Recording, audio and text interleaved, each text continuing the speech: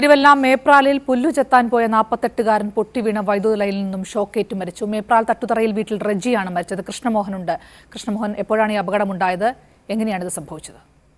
രാവിലെയാണ് ഈ സംഭവം ഉണ്ടായത്. നാൽപ്പത്തഞ്ചായിരം റെജിയാണ് മരിച്ചത്. പോലീസ് പറയുന്നതനുസരിച്ചാണെങ്കിൽ ന്യൂ ഇന്ത്യ ബൈബിൾ ചർച്ചിന്റെ ഒരു ദേവാലയം ഉണ്ടായി. മേപ്രാലിൽ ആ ദേവാലയത്തിലുള്ള സർവീസ് വയർ പൊട്ടി വീണതിൽ നിന്ന് ഷോക്കേറ്റാണ് മരിച്ചതെന്ന് പറയുന്നത്. അതായത് രാവിലെ ഈ റെജി പുല്ല് ചെത്തും മറ്റുമായി പള്ളിയുടെ ഭാഗത്തേക്ക് വരും. അപ്പോഴാണ് കാറ്റിലും മഴയിലും പള്ളിയുടെ ഷീറ്റും മറ്റും ഇളകിപ്പോയ ശ്രദ്ധയിൽപ്പെടുന്നത്. അങ്ങനെ പുല്ല് ചെത്തിയ ശേഷം അത് വീട്ടിൽ കൊണ്ടുപോയി വെച്ച ശേഷം തിരികെ വീണ്ടും എത്തി ഷീറ്റ് മാറ്റാൻ ശ്രമിക്കുമ്പോൾ അതിൽ പൊട്ടിക്കിടന്ന സർവീസ് ലൈനിൽ നിന്ന് ഷോക്കേറ്റ് റെജി മരിച്ചു എന്നാണ് പോലീസ് പറയുന്നത്. പക്ഷേ കെ എസ് ഇപ്പോൾ അതിനകത്തൊരു പ്രധാനപ്പെട്ട കാര്യം പറയുന്നത്. അവർക്കൊരു സംശയം അവർ പ്രകടിപ്പിക്കുന്നു. അതായത് ഈ അനുമതി ഇല്ലാതെ ആ, വലിച്ചൊരു സർവീസ് ലൈൻ ആണോ എന്നൊരു സംശയം കെ എസ് സി അധികൃതർ പ്രകടിപ്പിക്കുന്നുണ്ട്.